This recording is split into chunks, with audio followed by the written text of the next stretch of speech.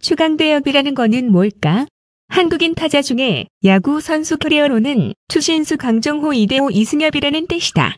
장훈을 제외하고 대한민국의 한반도 출생 선수 중에 대한민국 국적인 선수만을 포함한다고 한다. 양준혁, 김현수, 백인천, 최희섭, 김태균은 왜 제외되는지 의문이지만 어쨌든 저 논리에서 논쟁거리는 강정호가 메이저리그에서 2년 성공한 것의 가치를 어떻게 선정하냐? 혹은 일본에서 실패한 김태균, 이종범의 승리 기여도를 어떻게 보느냐? 등이 중요하다고 생각할 수 있다.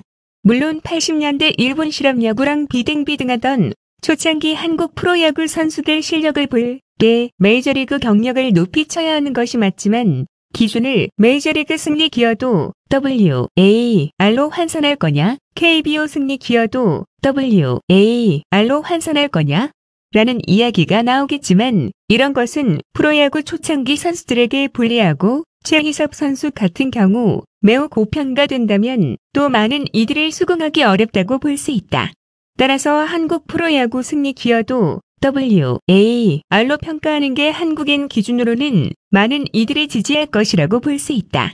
다음 연구에서 기준 지표는 EQA를 이용하여 리그별 수준 차이 보정을 통하여 한국 프로야구 기준 WAR로 환산하여 비교하게 될 것이다.